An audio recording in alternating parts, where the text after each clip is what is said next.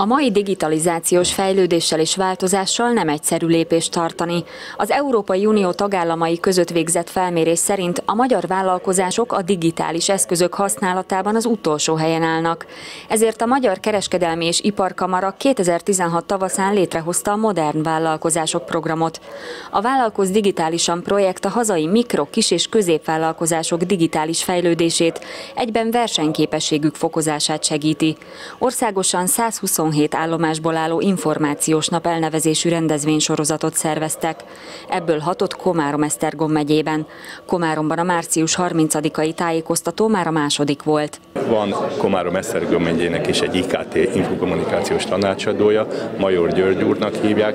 Ő elérhető a mi honlapunkon keresztül, de majd itt a kiállítás során is van egy külön kis stand, ha ezt így lehet nevezni.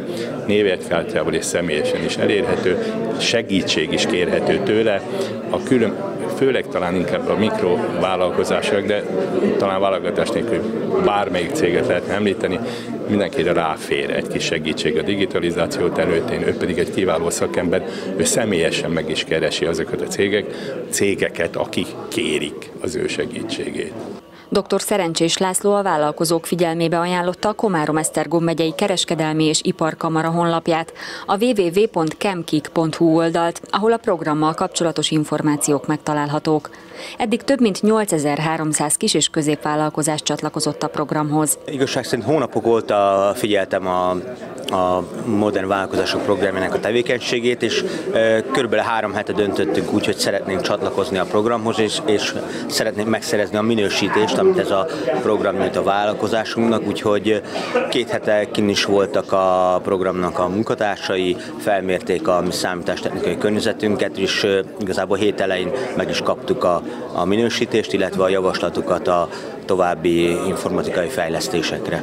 Mm, iparágunkból fakadólag e, roppantul fontos a, a számítástechnikai felkészültség, és a minősítés igazából azért szeretük volna megszerezni, hogy az ügyfeleink is lássák, hogy egy jól felkészült, modern e, cég az, aki kiszolgálja az igényeiket. Egy településnek az iparűzési adóból származó bevétel a legfontosabb a fejlesztések szempontjából.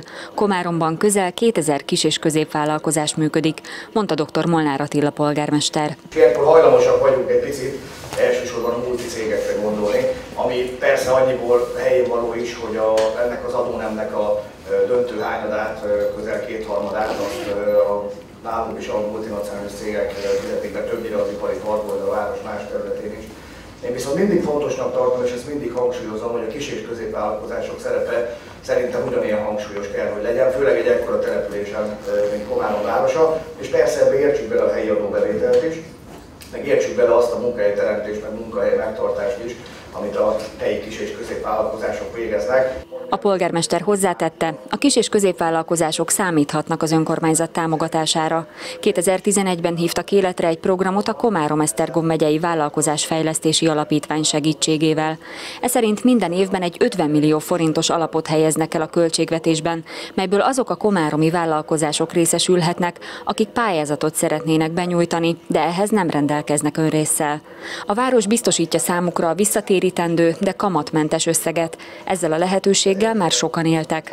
Cunyini dr. Bertalan Juditi digitális tartalomfejlesztésért felelős kormánybiztos arról az átfogó stratégiáról beszélt, melyet Magyarország kormánya a digitális jólét programban alkotott meg.